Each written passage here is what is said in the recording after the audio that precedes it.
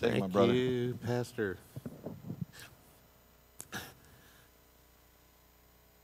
I promised Sally I would talk with a southern drawl tonight.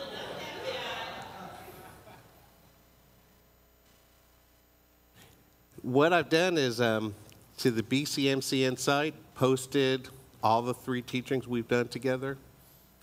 So it's like you get on the website now, there's a section called MVC Teachings. And you know I did that? Because I'm hoping you will be on that site fairly frequently to learn and to, for us to share together. Um, I'm really happy to be here, and I really want to thank Pastor and all of you for coming. It's so hard in the middle of the week. I know sometimes I can't be here because I travel a lot, and so it means a lot. And um, have any of you ever heard of the term emotional intelligence? It's really kind of an interesting term. There was a whole book written about it where, and I'm going to tell you what it means to me rather than the book, but this is a lesson less on scriptural intelligence and more of emotional intelligence. And let me explain that. Pastor has a heart of now opening up our doors to Hebraic roots and to do the feasts. And we have a core group in here. It's been really interesting to see. Just since I've been here, we're close to 12, 13, maybe 15, maybe growing of families who have participated either in a Messianic congregation, come from a Jewish background, and if we think about 100 people, we're kind of like 10 to 15 percent of our group, and more and more. And Pastor has a background in these things, but to open up a door is very unusual. I mean, um, I won't mention any specific names, but we have been at some very large churches, and people, the main question they always ask me, find out with Jewish, is why don't the Jewish people get it? I think that question will be answered a lot tonight. I think it's going to, as we try to connect to them and we see how difficult it is for us to get it with the Holy Spirit in us, it becomes a little easier to understand how people who have been through what we're going to talk about today have been through. So I just thought this scripture, Luke 24, was very interesting because really our focus is on Jesus. And that's what Pastor's been sharing with us. And I wish Greta were here so I could publicly tell her, you know, I, have communicated her twice or three times on it. I loved her teaching. I just thought it was really cool how she used illustrations to say, you know, if we focus on Jesus, the experience comes behind us.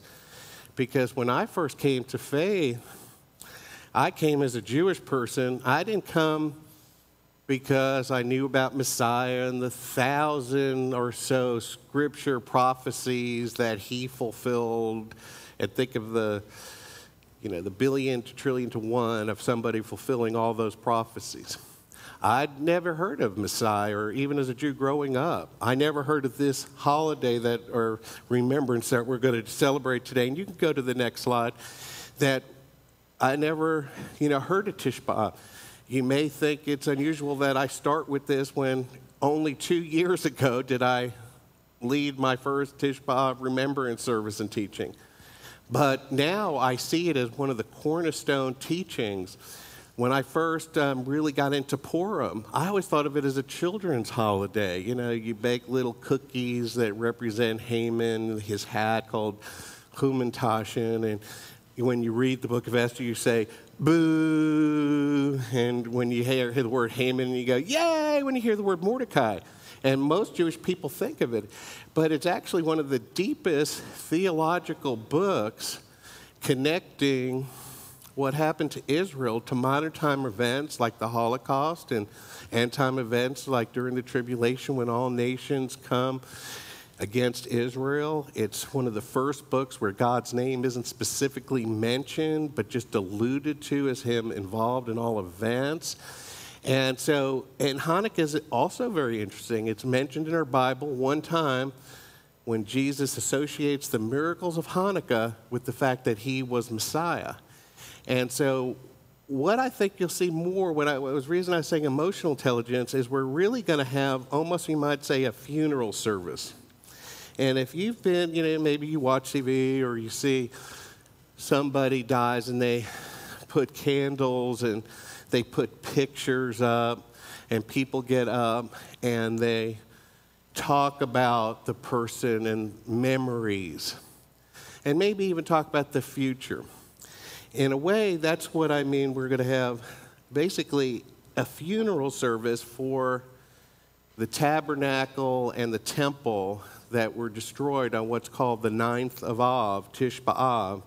And in a minute, you'll see that this particular day is considered a day that many major tragedies happen to Israel. And so often, when the church teaches about Israel, we look at them for, and we say, they just couldn't cut it.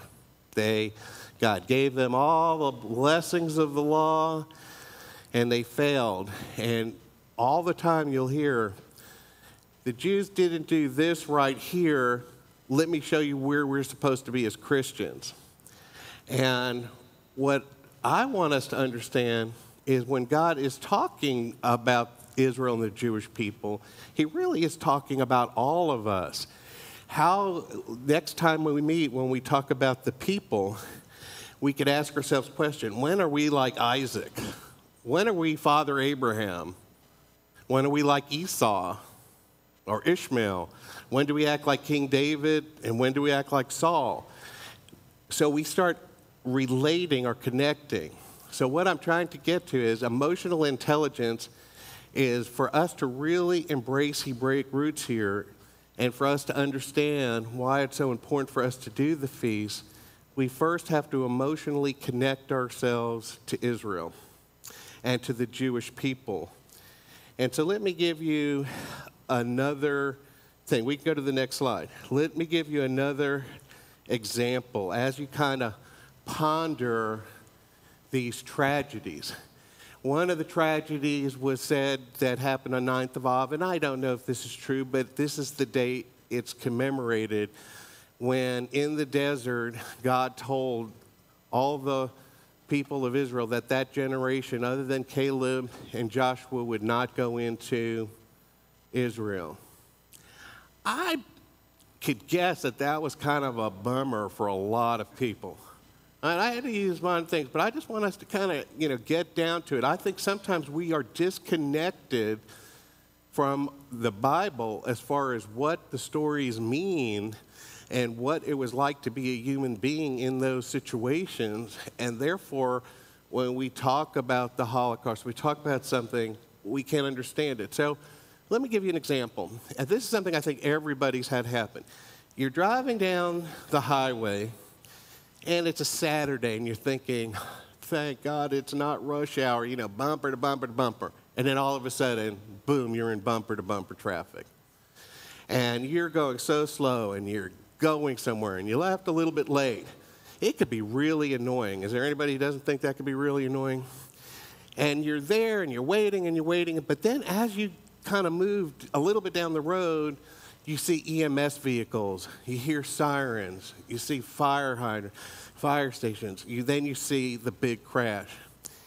In a sense, when you see that crash, and you know it's just not workers or whatever, there is something that happens in your heart momentarily where you go, wow, I hope everybody's all right. But when that traffic opens up, it's gone in our minds. It's gone. I mean, everybody knows it. It's gone. Then let's say you get home and you're watching TV and you hear about the accident. So you go, whoa, I was there. And then you find out somebody you knew died in that accident. I think we could all experience when it becomes personal to us, that tragedy might even cause us to cry and, and really affect us. It could be a family member or a friend of a family member. So when we hear about tragedies of Israel, are we thinking of them as our people? As, oh, I know them. They're Jesus' people. They're Paul's people. They're my people. Or do we kind of think of them as the group that didn't make it? You see what I'm getting at? So that's why I think, and I talked to Pastor two months ago, I think we need to emotionally connect to Israel and the Jewish people before these feasts will really mean something to people. So if we look at these tragedies, we're going to see that some of them are really almost ordained by God. They were prophesied, they happened due to warnings, and Israel failed. And some of them are due to outright hatred of Jewish people by people who ran our church and people who ran the political powers of countries. So let's just say we got, we've all been fired from jobs. Some like me more than others. I guess I've kind of don't even worry about it anymore. It's like, oh, great, new beginning. No. Um, but you could be devastated when you're fired, or you maybe you've had a divorce in your life. That's think about now a whole group of people because of their faith being thrown out of a country. So it's, you know, I think when we kind of relate, that's pretty intense to think of being occupied. And uh, why didn't they see Jesus? He's all over the scriptures. Well, could we think about 400 years of occupation and desecration of their land and home? Would you not be waiting for somebody, a savior, to come and get you out of that situation? And again, I'm, as I said, I, I'm, if we don't get, there's a lot of slides here. I don't care if we get through all of them if we make that emotional connection because you could read the slides up on the website. But I always tell this, I try to do modern day parables. Let's say terrorist groups occupy your house and family, and people are desecrated. I won't use words that are too offensive. And they threaten you and they're, and they're occupying you and humiliating you. Then the Red Cross negotiates their way in, and you're going, Could you tell the FBI to attack this place and get me out of here? And they say to you, Oh, I'm not here to try to help you get out of here. I want you to forgive your captors and pray for their goodwill. That's what Jesus, in essence, did. He went to a people who thought they loved God, who truly embraced that zeal for God, had been keeping the faith, and been persecuted by a group of people who were basically, you know, everything we speak against in sin. That's what the Romans were. They, they did a lot for God in building roads and traffic, but they were the bad guys, not the Jewish people.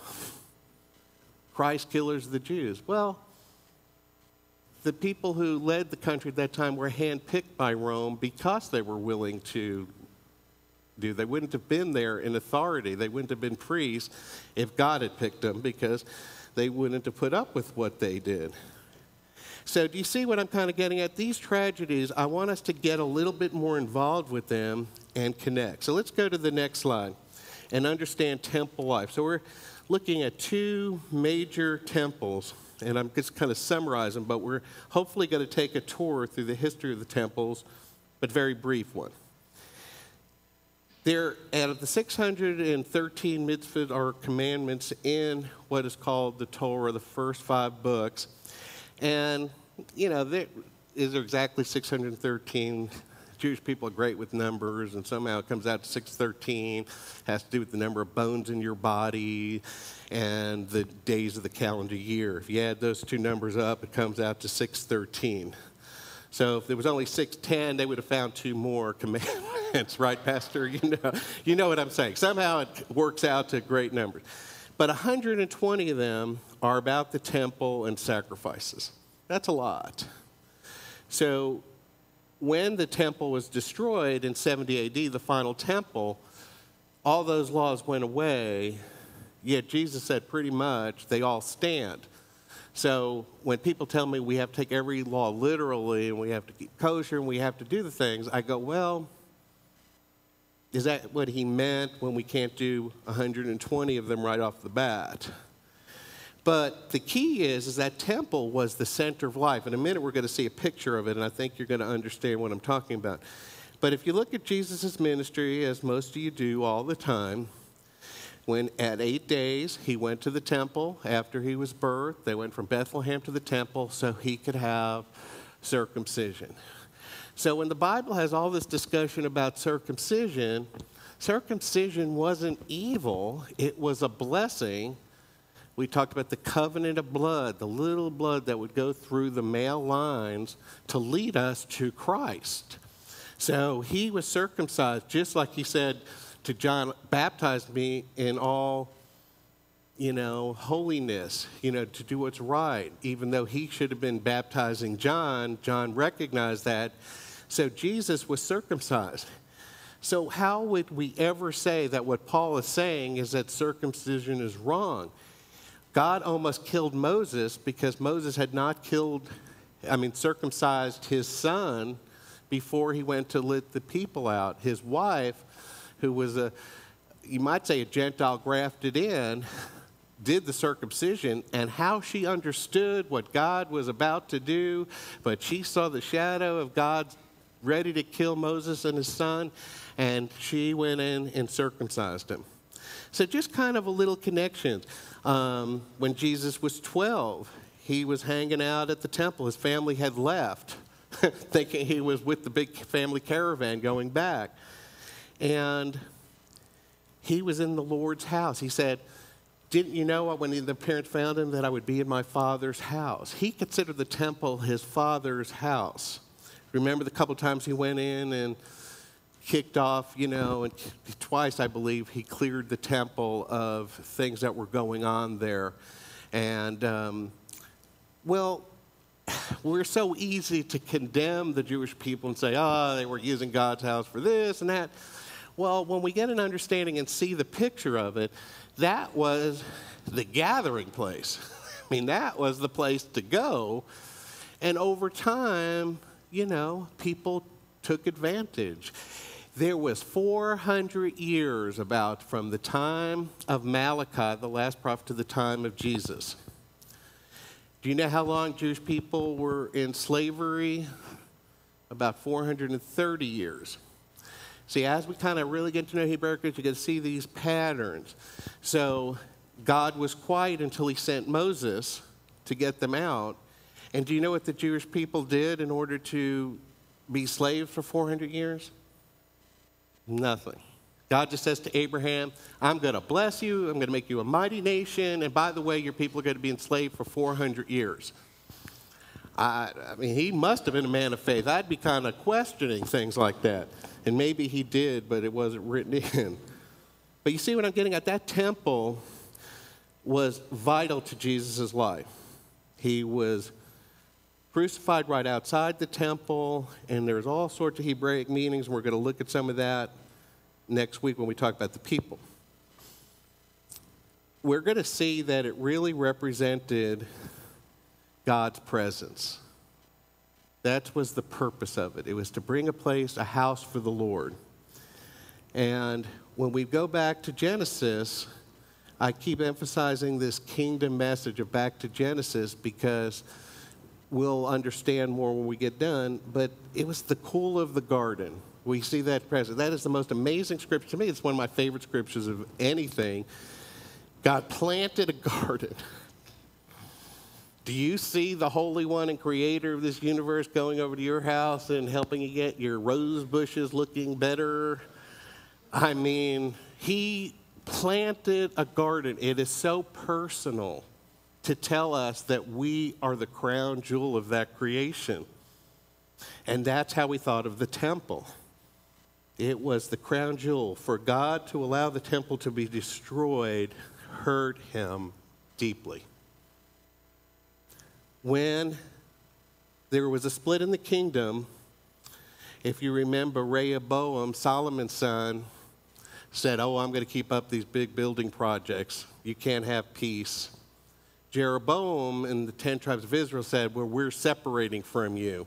We're, gonna, we're not paying tribute to you. We're going to move on. But when we talk about the feast, we talk about the ingathering, that they were to come to Jerusalem three times a year for pilgrimages. Jeroboam was so scared that by coming to the temple, they would develop a heart for the king of Judah that he built all these high places in Baal worship, which is what leads to the destruction of them years later, and then eventually the Jewish people from Judea and Benjamin when we see the first temple destroyed by Babylonian. so the temple had a very important meaning there because they was afraid by going to the temple there would be so much affection and love and meeting all the guys and gals, you know, the community.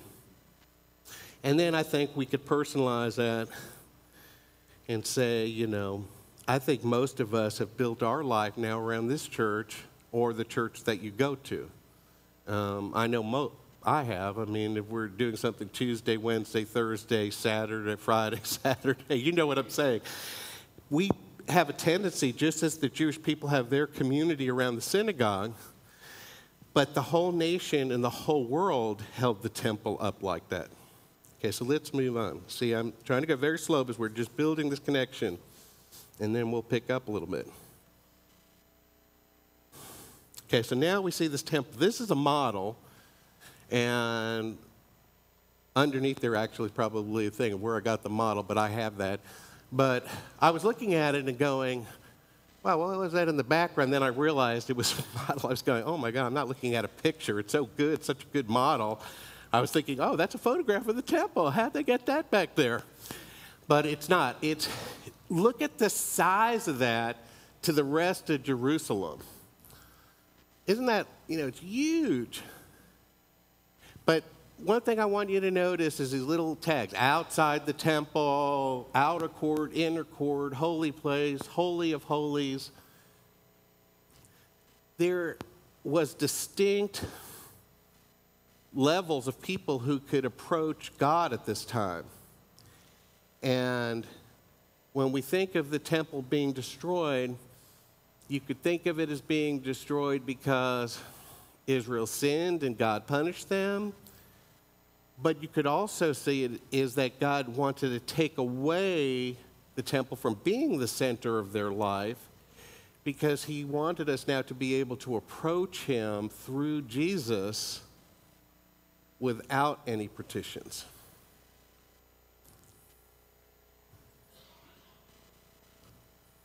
And I think you could get your mind. We just had a little incident, and our backyard was pretty well wiped out by this storm.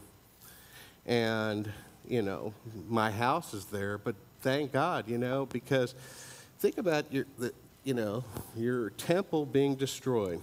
Okay, so let's get going. I think we could see the size of that.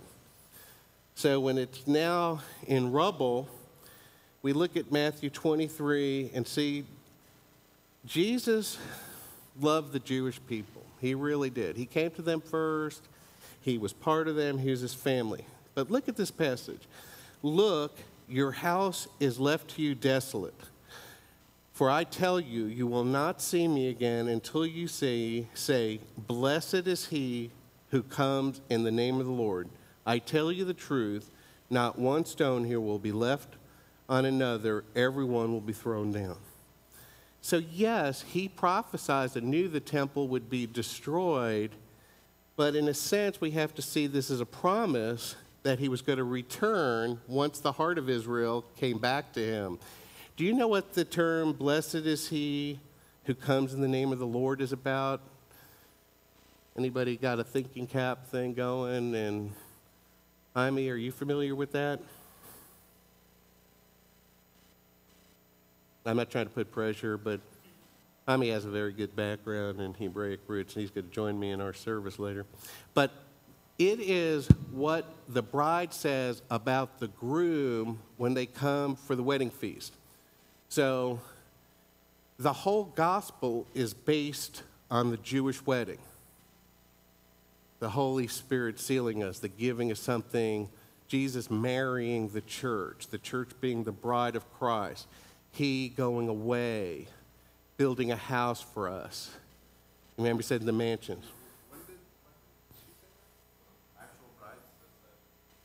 When, after the time where the groom has left. They've been engaged, they're married, but they haven't consummated the marriage or had the wedding feast yet. There's usually a year's time, and then when the groom comes back, they say this to his coming back. So, one reason I'm trying to share Hebraic roots for you is there are so many things that Jesus say that have to do with Jewish life and culture and the Old Testament that we're missing those kind of analogies because the whole gospel is based on the Jewish wedding. And hopefully we'll get to talk about that sometime. Okay, so let's move on. And I guess I had one thing more to say about that I, that is important. Many times we look at Jewish people and say, okay, they have community, many of them have reasonable earnings and livings and family and we think they don't need the gospel. God's going to take care of them in another way. But there's no indication of that in the Bible that there's a different path for Jewish people to be saved. So, a lot of times when you hear my heart to you all, is I believe we've been a barrier as a church to Jewish people entering it and should we then say, well, we have to have flags for every nationality? No. That's, we want to go out to all the nations. But God said, first, kind of bless the Jewish people. They're their foundation because Jesus portrayed himself to us as a Jewish person. God is the one who is Hebraic, and they're desolate without God. So they're even the worst. I cry for my older, my younger sister. My older sister's messed up enough where I might reach her someday. And I don't mind saying it. I, Michelle and I know it. I mean, she's my pathway, but she's afraid because of what my father and mother might do, you know, disowning her and her daughter. But my other sister just thinks she is okay.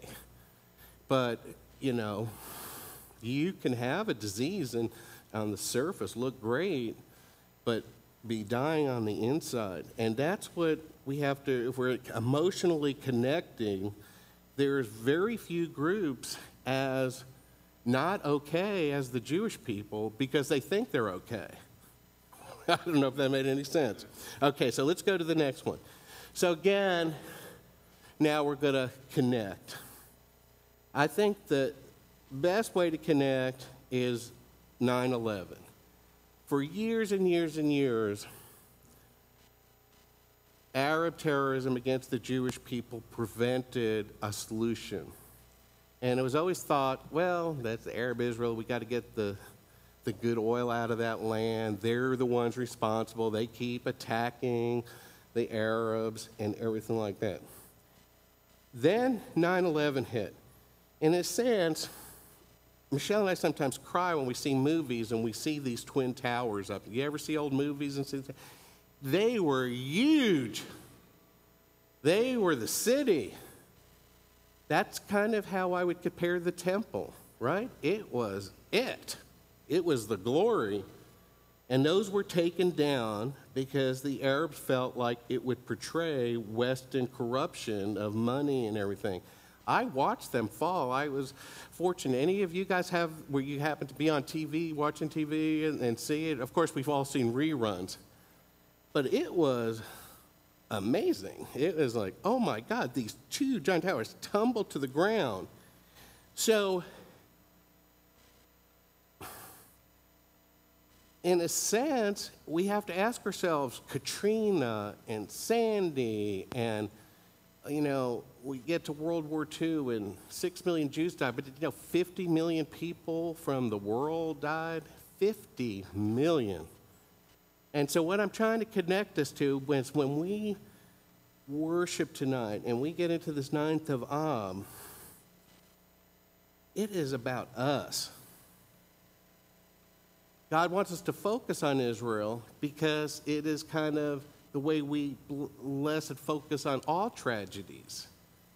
If we could somehow connect and understand what these feasts mean is we're connecting ourselves as all nations. They're, they're all individual, right? They all have their own things. But through the Hebrew nation and the kingdom, God could unite us without hostility in Messiah. And until that happens, we'll have continued hostility, and I'll show you that. Let's keep going. So, I'm not going to spend a lot of time on this next slide, but when Paul talks in Romans, he doesn't say the wrath of God is being revealed to Jewish people from heaven. He's explaining that all humanity is without excuse, that it isn't really just about all the failures of the Jewish people, it could be any nation. Because of Abraham, Isaac, and Jacob, he loved the Jewish people. But let's face facts. I've been there. When I went to college, I got into drugs and all sorts of cruddy stuff. That's eventually, six, seven years later, led me to Christ because I wanted out of that.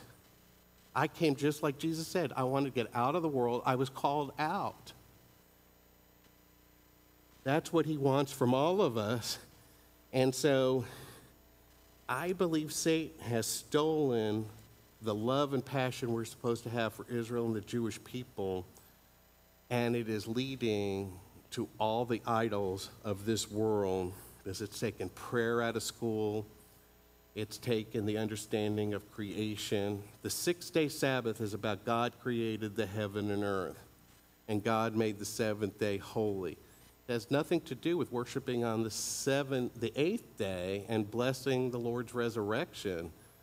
It's about remembering what God did at creation to show that He and not evolution created the world. But we've taken that out by taking out our love and connection to Israel. So let's go to the next line. Even Jesus connected himself to the temple to explain himself.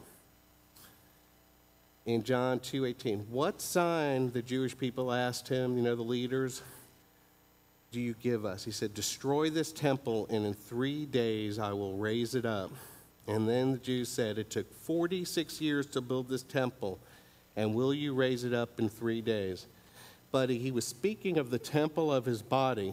So when he was raised from the dead, his disciples remembered that he said this and they believed the scriptures and the word which Jesus had spoken. And underneath this is another example why I'm trying to focus us on the kingdom to understand Israel and not just Israel church. In Colossians 1, for he rescued us from the domain of darkness and transferred us to the kingdom of his beloved Son. When we understand the temple, we understand Jesus because the temple was destroyed because of sin and Jesus' body was destroyed. And just as Jesus was resurrected, we're going to see that God's going to resurrect the temple.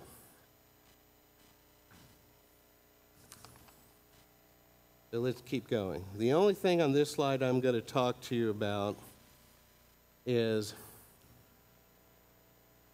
I find, you know, this is a sadness that I have that on the top part, it tries to tell Israel not to be prideful, that it's God's love for his patriarchs and their faith that allowed him to love them. And he tries to take away their pride of feeling superior to the Samaritan woman and the Romans Jesus didn't allow sin to come in, but he showed love to the Romans, and I think you all know that.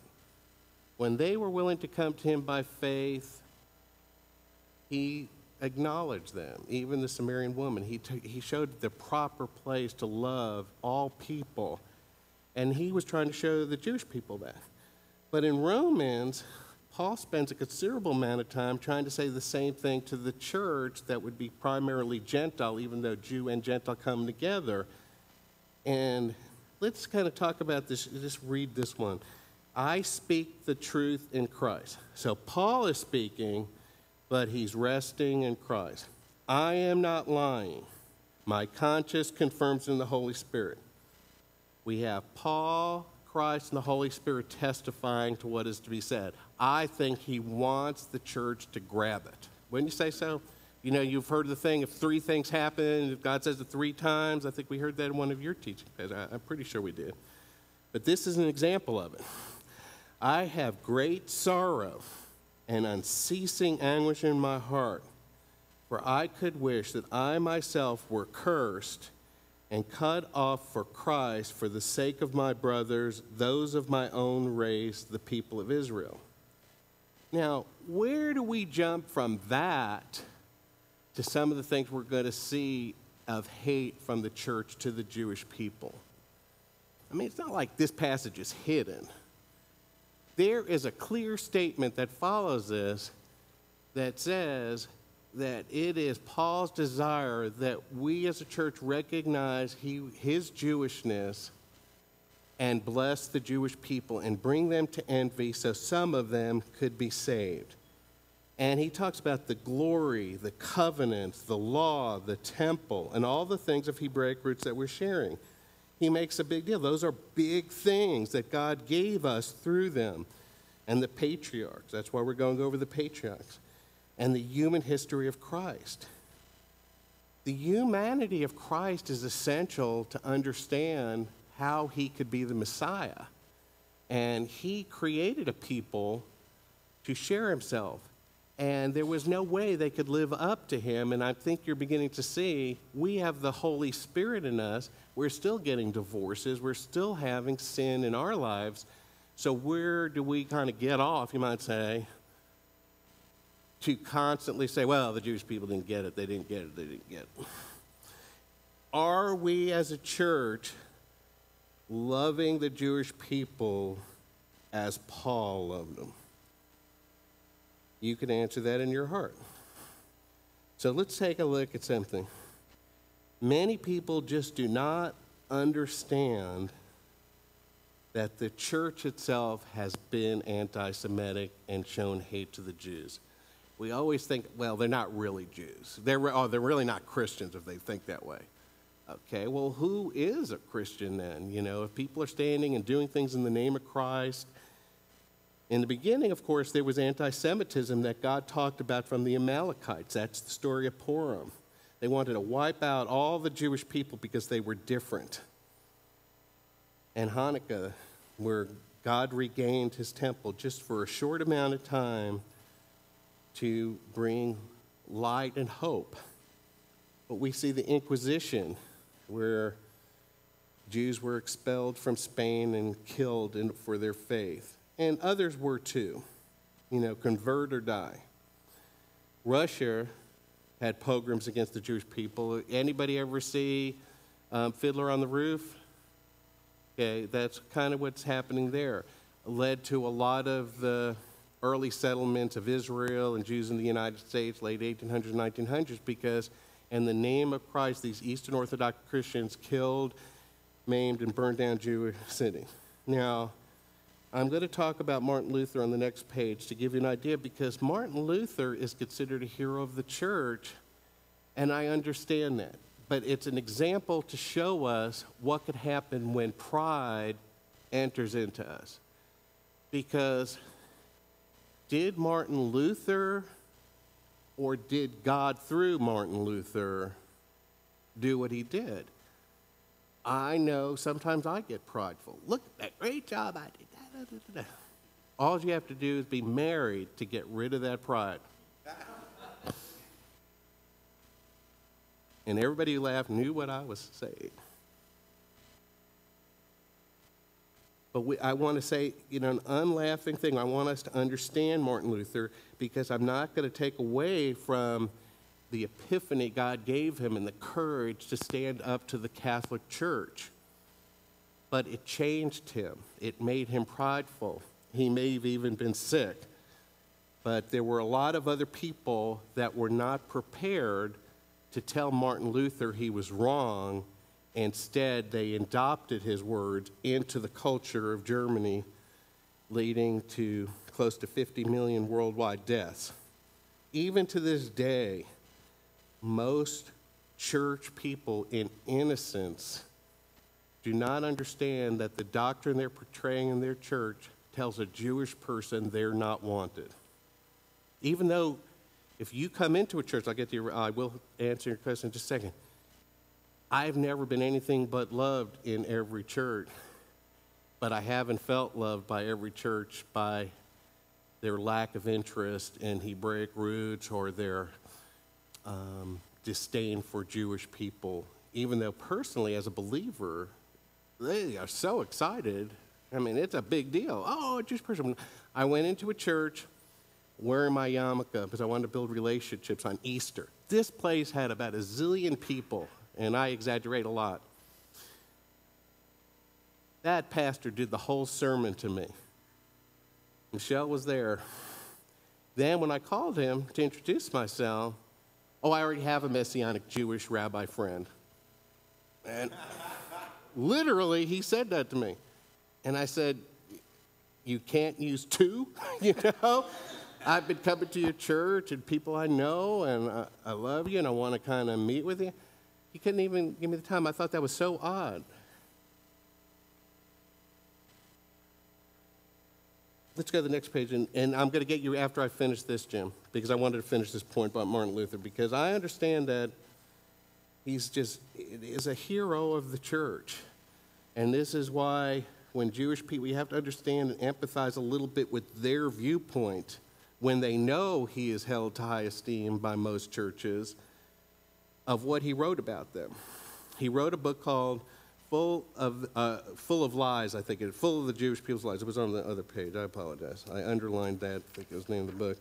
It was called On the Jews and Their Lies, 1543.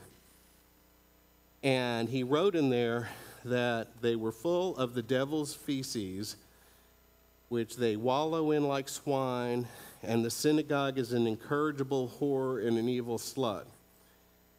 Jewish synagogues should be burned, Jewish uh, homes demolished, writings be taken away, forbidden to preach, and all these things. Well, this is the same people that years later allowed Hitler to do these same things. And that led to then going further beyond what they thought, because in their hearts they had accepted it. I'm not going to stay into that anymore, but now I'm asking you to look at the Jewish perspective, and when you say, why don't they get it? Maybe you could see that the church hasn't always treated Jewish people with kindness and love, as we see here. If I'm a Jewish person and I come in here and heard Pastor praying for Israel and the Jewish people and knowing that they're going to teach the, the feast and I know that they're going to have things, then that's great because I want a church. I could join a Messianic congregation. We like it here because we want the fullness and the robustness of the nations. But we want to know that Jesus' people and the people that God loved are being taken care of. Let's look at something even more modern, and this is a terrible picture Um, sometimes even on Holocaust memorial things, I'm not able to do it anymore. I just uh, then there are times when I, I do it because I'm so, I have to. And but I believe if you ask why don't Jewish people come to Christianity, I think your answer is that the image of Christianity to many Jews are those bones. And Ezekiel said to about bones, you know, is God done with the Jewish people? Again, he said to me, Prophesy over these bones and say to them, O dry bones, hear the word of the Lord. Thus says the Lord God to these bones Behold, I will cause breath to enter you that you may come to life. Direct parallel to him breathing life into Adam. And as I prophesied there, was a noise, and behold, a rattling, and the bones came together, bone to its bone. So there is hope from God's point of view for the Jewish people. And I know this kind of takes a lot, you know, it's like advertising, you put baby pictures up there to sell something. And I'm putting pictures of dry bones. But I want, it wasn't until one became a believer and I struggled for seven years to understand Christ as God. And then I got sick on Easter and I saw five different versions of the Jesus. All of them were on. By the end of it, I learned I was a visual person. Seeing who Jesus was, I just loved him. The kindness that he showed to that woman who um, they were going to stone and saying, if you know, you without sin, throw that stone. I just loved him and then understood that for the power of the world to love us so much that he wanted us to be able to relate because it's so hard to relate to an invisible, divine, distant God as the Jewish people had been portrayed thinking of him as. They would not hear the voice of God, they were afraid of God.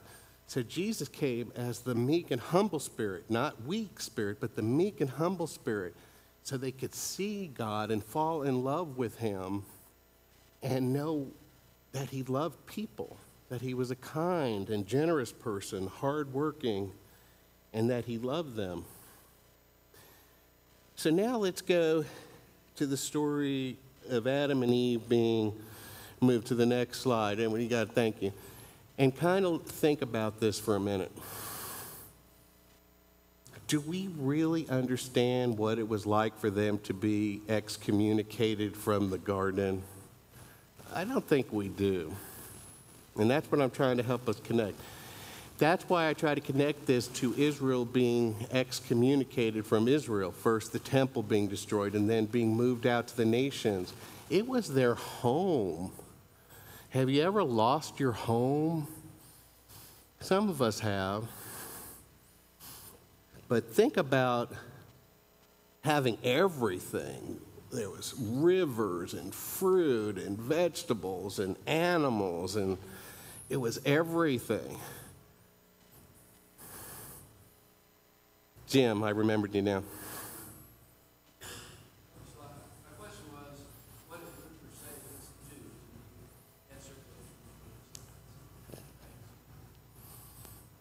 Do you see this thing? God blessed them and said, Fill the earth and rule over it. Then he's driving man out. There were curses. The curse was on the land. Do you remember thorns? In marriage class, we talked about the childbirth, pain in childbirth.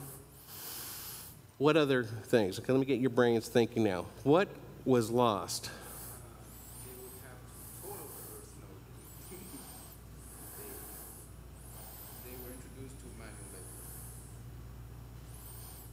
Very good.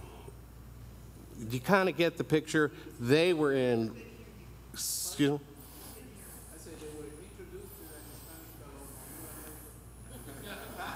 manual labor. They were introduced to manual labor. They would have to now work for a living, and thorns would come up.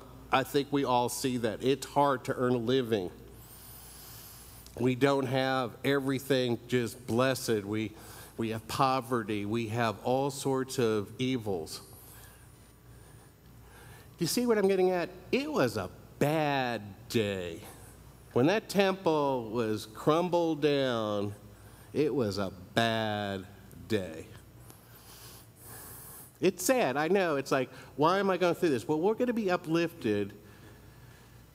Cain kills Abel. The first that you think about it, you, a loss of a child.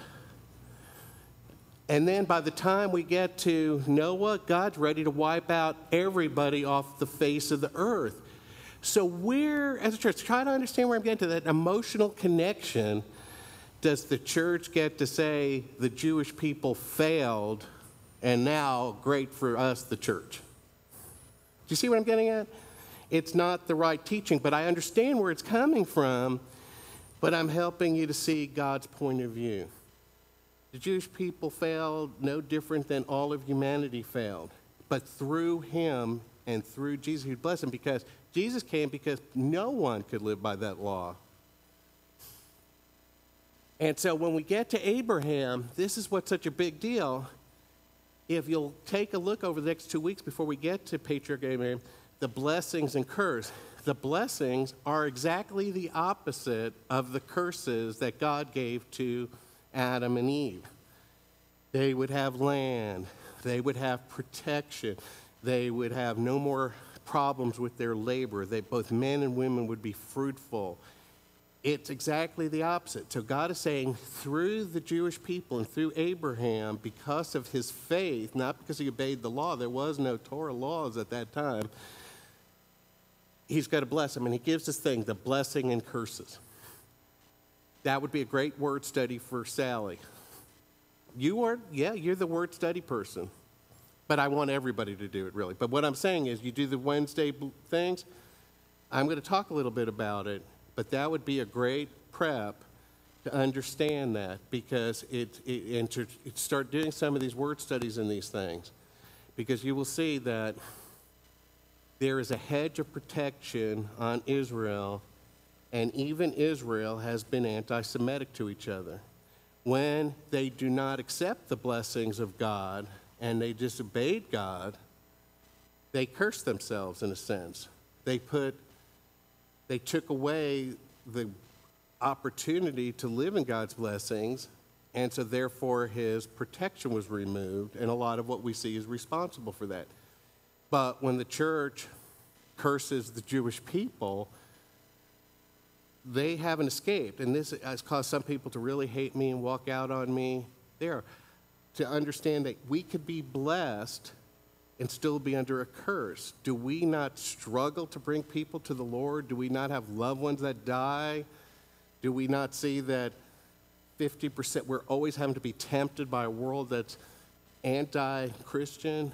There are 50 million people who died in World War II. Do you not, these things that happen, we're not associating them to it, but we're certainly able to associate the downfall of Israel's temples to their sin.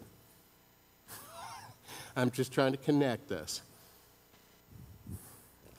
To the next slide, please.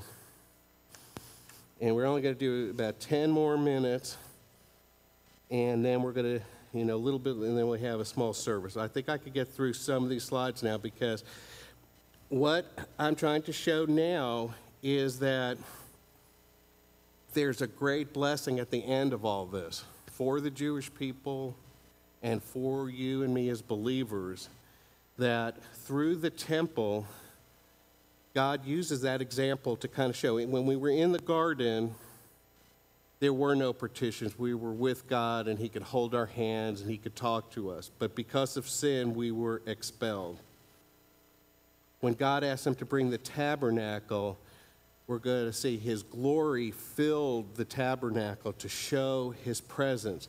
And a cloud would move from spot to spot. And when it stopped, the glory of God stopped, they would rebuild the tabernacle there. And then the camp was all around it, and it really almost looked like a cross the way it was configured around that tabernacle and God spoke to Moses, and there was separations and things, but you know, and Yom Kippur, one day a year, we could go into the Holy of Holies. And then there was a first temple inside the land, and that was destroyed.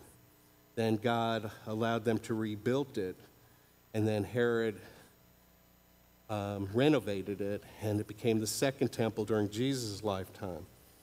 After that was destroyed, you know, before that, even, God calls us the born again temple.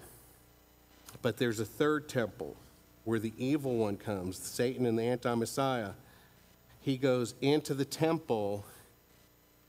I mean, Satan understands Hebraic roots real well, by the way. He could go to Washington, D.C., right, and announce that he is God, but he goes to Israel and the temple. He's focused on there. He's trying to take our focus away from loving Jewish people in Israel because that moves us away from the blessings. Then Jesus comes back and institutes a fourth temple, which is what the Ezekiel bones were doing. And then God's final temple is God is the temple. But he calls it a temple. Why? Because he wants you to study the temple and understand what it's about so you can understand what it means for God to be the temple to think of living in the kind of the womb of God, it, it can't be more intimate and personal.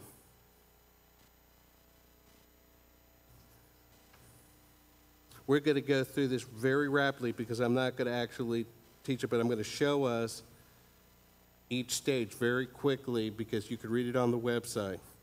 So the first one is that thing. There was tents and there were things outside the tent, and it, and you see the way Israel is set up. It, it was kind of configured with all them, all the different tribes around it. It was the center of their life where God would sit and talk to Moses. Next slide. As I said, you could read these scriptures on the website. Just like our church, and Pastor's been teaching on this, right? The gifts of the Spirit. In order to build the temple, God gave them the Holy Spirit and anointed them with different gifts. And inside, one passage will do Exodus 35 on the bottom. Everyone whose heart stirred him and everyone whose spirit moved him came and brought the Lord's contribution for the work of the tent of meeting and for its service in holy garments. That's the type of giving God wants rather than the tenth. But because people's hearts are hard, he talked about a tithe so we would have a law and they would train them. But at this time, he stirred their hearts. He had them kind of emotionally connected to him, and he filled them with the Holy Spirit. Wow. You know, just like us today, we need to be filled with the Holy Spirit and build this church because it's building God's people. I think we all know that we have a pastor's teaching people and discipling them and the love we experience from each other. And that's just a little interpol for Ronnie Johns on Saturday when we bring our friends and guests to the tap. Next slide. There were different items. It's important for you to learn what those items were and what they meant. We actually have, we're going to see a little bit of it. We're doing good. But I have it on the next slide, but I'll just talk about it. There was an altar, the sacrifices. There was laver, the baptism, the water to cleanse. There was a door, Jesus, the narrow gate, you know, getting into the holy place. In the holy place, incense, the sweet smell. This is where um, um, Zechariah was burning incense, but in the temple part. Um, the golden lampstand, seven, light of completion. The showbread was community. We break communion now. Then in the Holy of Holies was the Ark of the Covenant, and we're going to talk about that. So let's move to the next slide. And you can see if you get on the web, and I actually have a website that teaches you on that, that you'll see.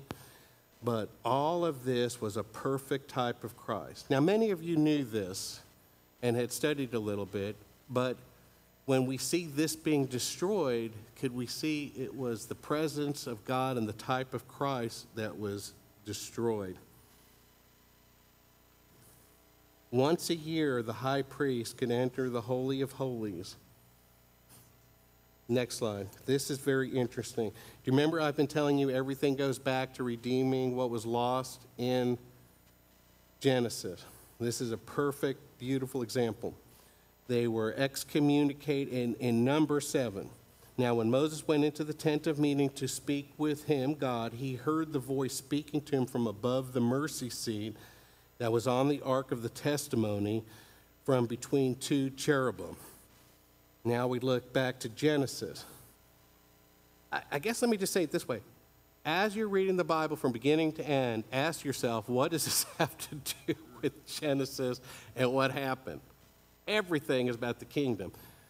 That's what Israel's about. It isn't about an ethnic people being raised up better than everybody else. It's about redeeming what we lost in the garden. So he drove man out, and the two cherubim guarded us from getting to the tree of life and eternal life with God. Now, God speaking through those cherubim, opening up a little door of his presence. And in Ezekiel, and the glory of the Lord came into the house by way of the gate facing east. Where were they guarding? The east. Jesus said to come back from the east. All temple, Jewish temples are made facing east. And the Spirit lifted me up and brought me into the inner court. See the courts, the different thing. Now he's getting back to the inner court. Behold, the glory of the Lord filled the house in the temple of Messiah. He's able to get in there. Okay, let's keep going. This is another interesting time. In Genesis, after Cain's sin, it's kind of hard to keep following this but he's kind of excommunicated too. He becomes a wanderer. And he says, Oh, this is too much to bear. I'm going to be away from the face of the ground. Thinking of it kind of that holy place, that temple place. He's still going to be on earth, but the place where he knows God. And from your face I will be hidden. So now we have the tabernacle. Aaron becomes high priest and now he's to bless Israel with the prayer that's called Aaronic benediction. And it's one of the most important prayers in Judaism where God blesses Israel after each time before they go out from the temple or synagogue. And that's why you might hear messianic congregations doing this. Now, look, listen to this wording, it's amazing. The Lord bless you and keep you. The Lord make his face to shine upon you and be gracious to you the Lord lift up his countenance upon you and give you peace. You see the connection from going from where God's face would be removed, his presence, the face of the ground, to where God is now blessing Israel again with that presence. Let's keep going. We're going to get through. So, the first temple inside the land, the only what I want to just talk about is King David wanted to build the temple, it was in his heart, but he couldn't do it because of his bloodshed. But Solomon built the temple based on the preparations David made, and he prayed, saying, when people, he kind of foretold Israel would be in diaspora, but he said, when they pray towards this place, forgive them, your dwelling place. And God filled that place up where people couldn't even get into it to show his presence. And then later, Daniel prays, and he tries to remain Hebraic and Jewish, and there's often issues. And if you read that, that a lot of that is about it, but he prayed facing that temple. Let's keep going. When you get on the website, you could look at Solomon's temple and see how amazing it was. All sorts of things going on there. The feasts, we're not going to go into them today, but they were to bring people there. Why? Because Jesus would do his major miracles, his death, his resurrection, and the second coming out of there. And if you look at First Kings, again, that was the concern of Jeroboam. Next. All we're going to talk about on this one is that Nebuchadnezzar, he knew the heart of Israel was in that temple, and to destroy that temple was kind of showing his possession of Israel and their mindset. And Jeremiah and in Kings told them exactly why it had happened because they had left the Lord their God. Basically, they cursed themselves and that Abraham's curse. they took away the protection of God, and then people doing what they do, they went in and conquered Israel. And that's what the Lord said because of their sin. But I think you're understanding it now when we see the world falling apart and tragedies of our world and tragedies of past world, humanity has sinned. And even though we're being blessed with the kingdom, that's why we see so much pain and suffering in the world. And we can join with Israel in prayer tonight. Next, the second temple. we see Jesus, I, I already talked about this, so I'm not. Jesus' whole life focused around the temple. He loved the temple. Let's keep going. Herod's temple. The only thing I wanted to share here is that how cool this is. And maybe some of you were familiar with this in Matthew 27. And Jesus cried out again with a loud voice and yielded up his spirit. And behold, the veil of the temple was torn from top to bottom.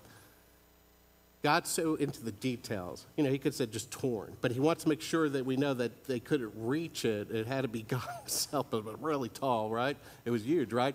Look at all those separate areas. Women could be here, Gentiles here. You guys could get close, but you couldn't get in the inside. And then the most holy place. Isn't it amazing now that we could get into the very throne room of God when we worship, we experience that? Isn't that amazing? But you have to understand that God keeps showing sin separates.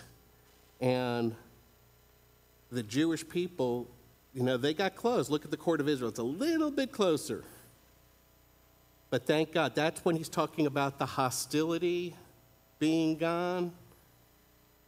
Now we both could approach the throne room of God. See where that's Hebrew kind of helps? It's like make the two men. That's kind of what it's about. The Gentiles, they were on the outside, but they could come close. Israel could come closer. The high priest could come closest once a year. And now, by taking the law and the condemnation of the law away, not the value of the temple, not the feast, not the meaning of the law in our lives, but taking away the separation that the law brought between us and God. That's really what that passage is about. That's what the hostility means. It means putting his face back in our presence. Is that interesting? I think so. You know, the one new man is that now we're both high priests when we come with the Lord. People without the Holy Spirit, they don't come into that. Like God still loves them. He reaches them. He anoints them probably even too, temporarily, like Christ. But they don't have that eternal testimony. And that's the next one.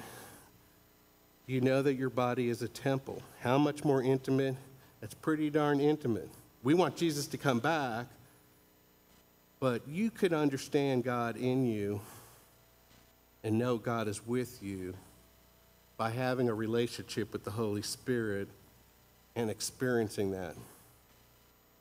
And so we take that power and now we go and make disciples and we go out and reach all the nations and he's redeeming back that fill the earth and subdue it. But now instead of kind of the temporary spirit of man, God in man, it's the eternal spirit of man that transverses the earth and fills it. God is not bringing the end until he redeems everything lost in the garden. I think you're seeing it now. I, I, feel the connection. So we don't need to look at the next one. We already talked about Romans and everybody sinned, not just Jewish people. Third temple.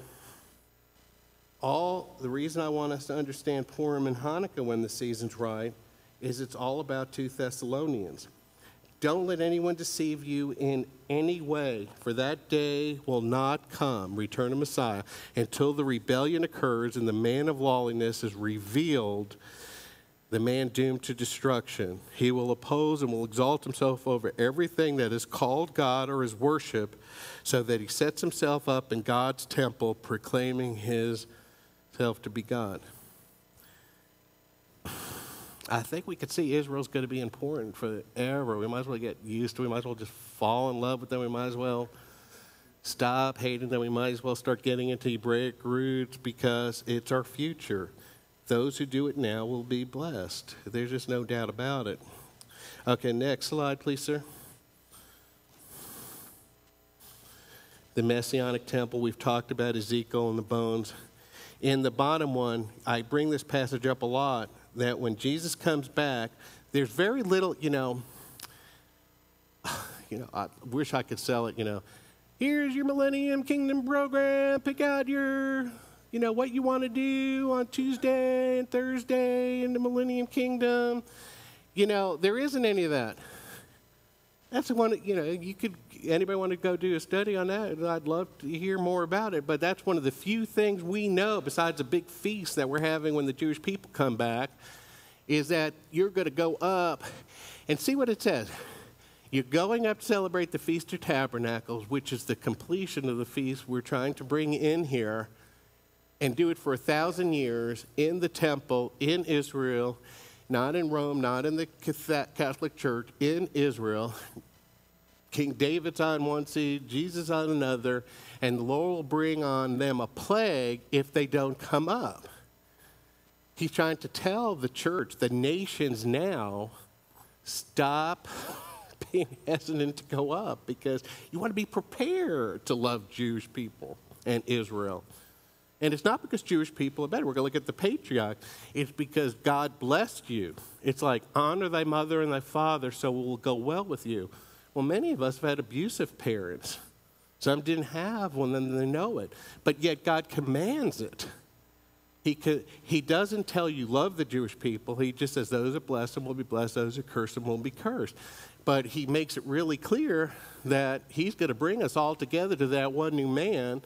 And it happens in Israel and it happens during a feast day.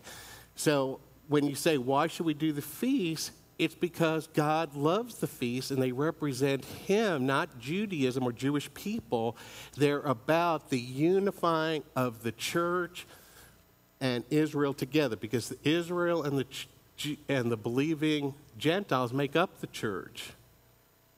And so by bringing us together, he's ending that hostility.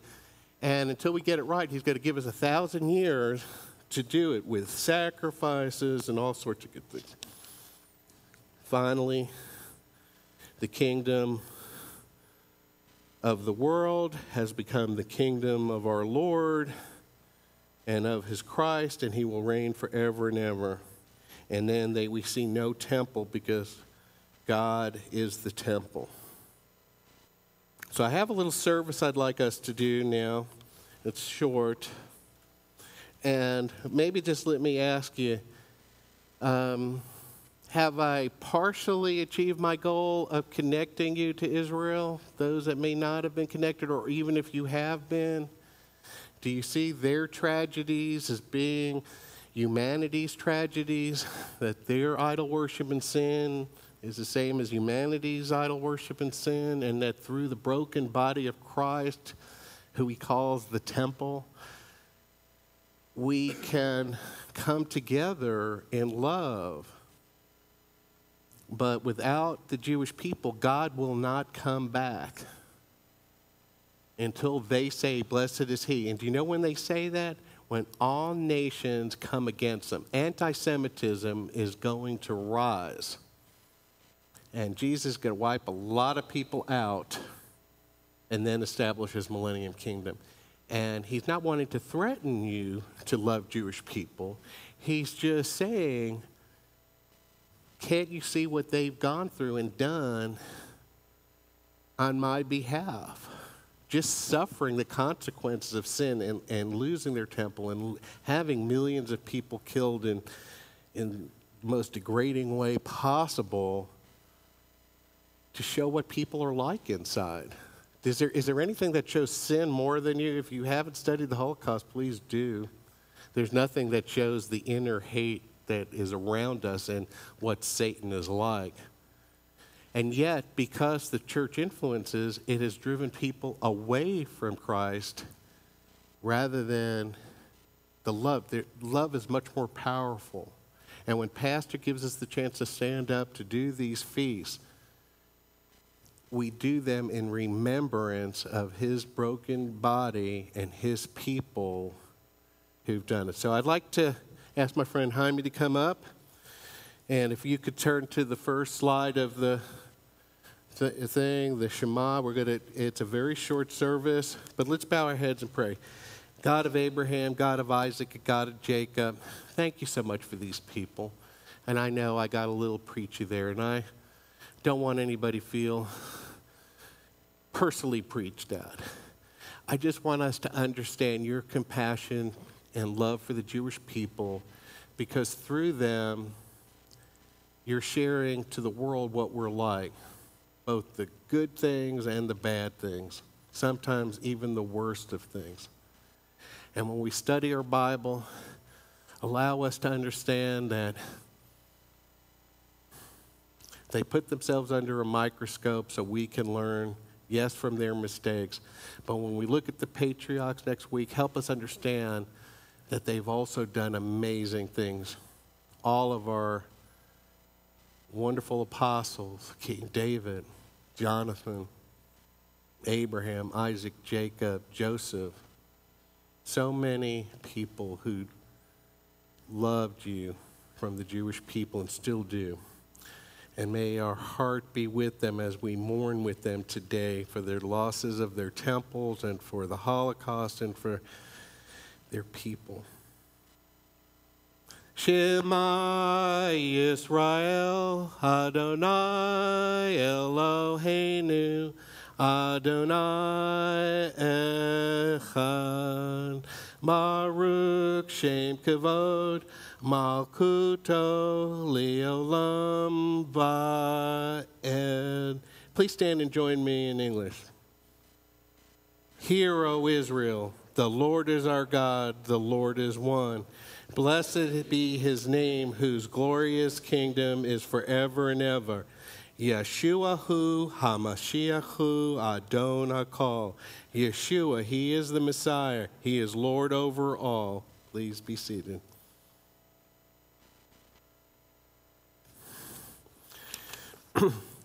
in Mark 12 29 and in Matthew 22, God unites the Jewish understanding of Deuteronomy, love the Lord your God with all your heart, soul, and mind, and the Shema, Hear, O Israel, the Lord is our God, the Lord is one.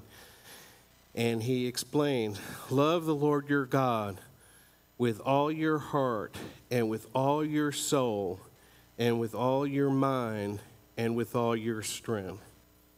And interesting enough, this is why we went for the emotional intelligence today, but we talked about your soul and mind because to love without the heart is very difficult. The second is this love your neighbor as yourself. There is no commandment greater than these, Yeshua said, and all the law and the prophets hang on these two commandments.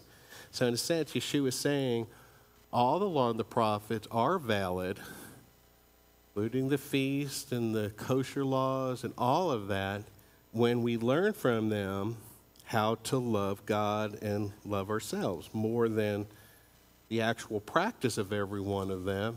It teaches us how to love. The next page is I'd like us to read this together. This is a book from Lamentations, and this is probably one of the saddest books you could ever read. And we are going to end up on an up note, but Please read this with me. How lonely sits the city that was full of people. She has become like a widow who was once great among the nations. She who was a princess among the provinces has become a forced laborer. She weeps bitterly in the night. Her tears are on her cheeks. She has none to comfort her among all her lovers. All her friends have dealt treacherously with her. They have become her enemies. Judah has gone into exile under affliction and under harsh servitude. She dwells among the nations, but she has found no rest. All her pursuers have overtaken her in midst of distress. Hmm. That prayer kind of shows the, the fear that Cain had of being a wanderer, not having their own home. And that's why having a nation in April, May 14th, 1948 was so important to the Jewish people because they had no place to go but to wander in other nations that were not treating them right. The next um,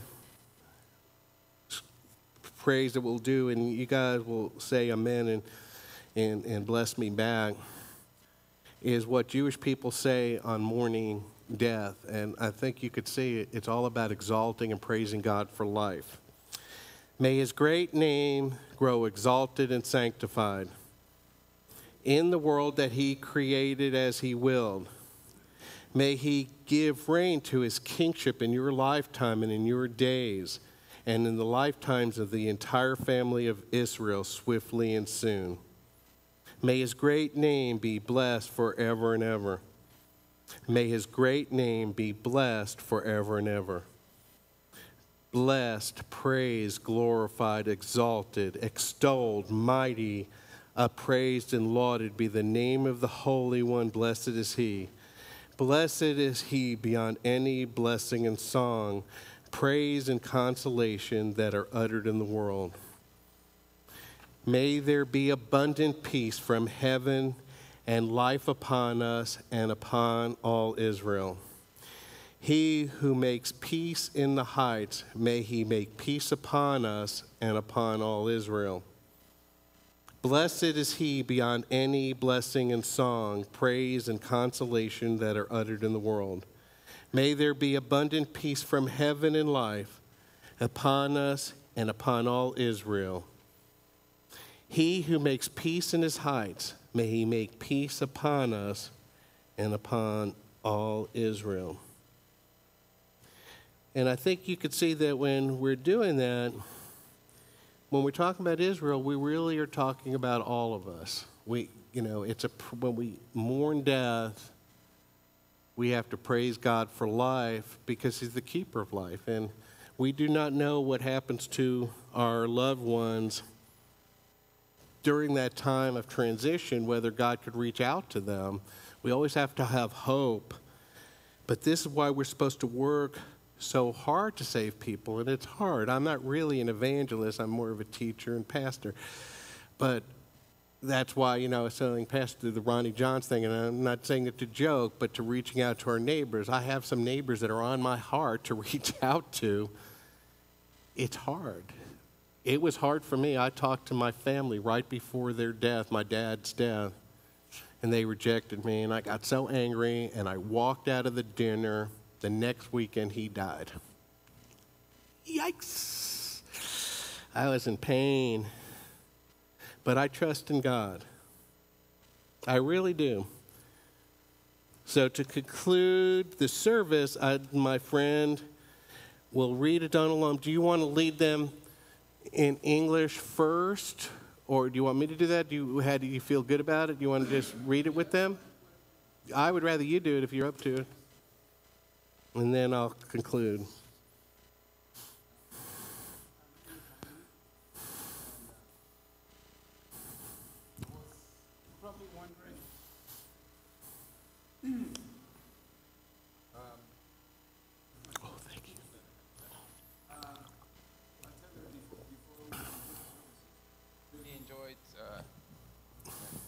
Learned a lot today. Thank you, Rabbi. Um, it the closeness that the Christians and Jews, that uh, together we become as one, and uh, the Messiah will, will um, come and bless all of us. The, the, the Adon Olam um, is basically, I was trained in, the, in a very, very traditional synagogue and when I was there, people were wondering, why is this South American boy from the jungles of Amazon doing here? And I don't know. I was just there. but one rabbi came up to me and said that in 1945, six million Jews died. Then there was so many souls that went up to heaven that the Lord had to recycle them. I was, I was born in 63, so I think I got one of those recycled souls because I've had Israel in my heart ever since I could remember. So when I was going through Hebrew school, I remember the first day I was there, they were teaching me classes, and I had my books and everything, and I was ready. The problem was I didn't speak Hebrew. So, does anybody here remember a program back in the 70s called Mr. Ed? It was about a horse, uh, it was a sitcom about a horse that could talk. So I just pulled the Mr. Ed. You know, uh, they used to put peanut butter in the horse's mouth, and he would go. Mm. So that's what that's what I would do, because I, I, I, didn't read Hebrew and I didn't understand it then. So I just move, I figured if I moved my lips, everybody was too busy. They didn't see what was going on. So finally, when it started clicking in, I realized I probably did look like a horse eating peanut butter.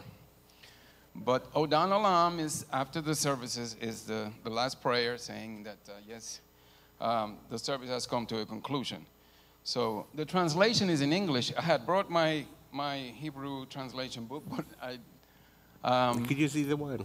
Pardon? Whichever one you feel most comfortable with. Well, they can see that one. It says, Master of the world, who was king before any form was created, at the time when he made all wrought, uh, all through his will, then his name was called king.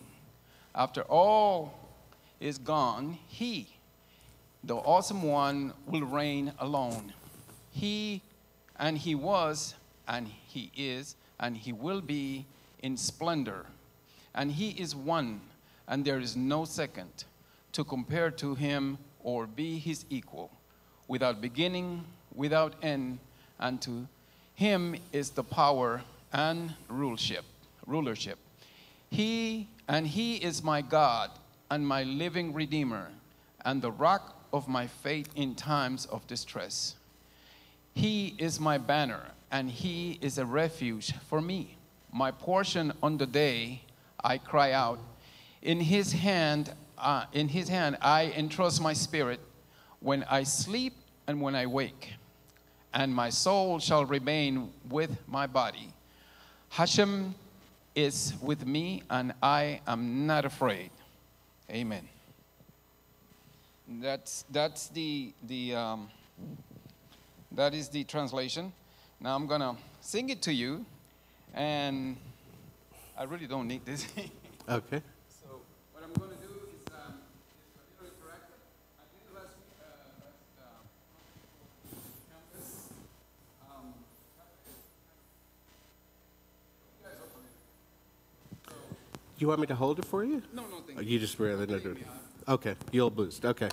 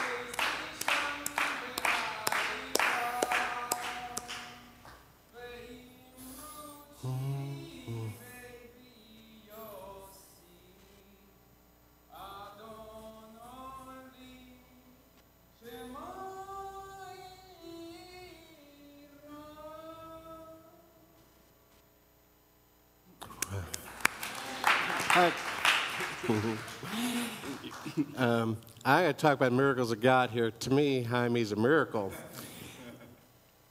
Uh, two weeks, literally two weeks before he came to church, I was meeting with um, Pastor Randall, who's becoming a rabbi. You remember him from Passover, bearded guy, what? And he's starting a fellowship, and I told him, what we need, every rabbi needs a cantor, because I can't carry a tune. And we prayed that he would bring somebody to us and to come here so we could, when we do some services, I'm hoping we'll do some of the feast.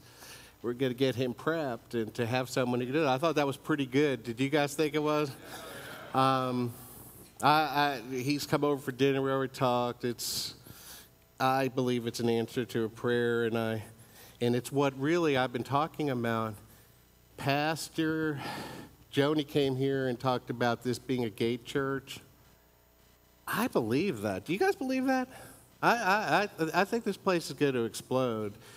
And we're going to need more room and um, because there isn't a place that's really uniting the Jew and the non Jew really in a church orientated way. Messianic congregation have a lot of Gentiles, by the way, most 70%. But I'm more, I spent my first 12 years more in the church environment. This is where I'm more comfortable, but I got to have those Hebraic roots. And we want to bring more and more people. There are more and more people, both Jew and non Jew, wanting a place like this and I believe, but the prophetic that they're going to teach, we got to be in the prophetic. It isn't only about Hebraic roots, it's about integrating it in appropriately. See what I'm saying? I'm not trying to turn this into a Messianic congregation or Gentiles into Jews. But a foundation has to be what, you know, I brought something as an illustration after I thought Greta did such a good job of that. Okay. This is the New Testament, and this is the Old Testament. If you think of the Old Testament as outdated, here's what Israel did wrong, now here's what the church will do right, we're wasting a lot of great scripture. And thank you, Pastor, for giving it. If we look at this as what God intended for us to do right, regardless of who we are, and then Jesus said, Okay, you can't do it, so I'll die for you. And now go out and show other people that they could understand the law and study the law and study God because they could face Him. They won't have to hide like Adam and Eve did for fear and shame, but they can come close to the presence of God.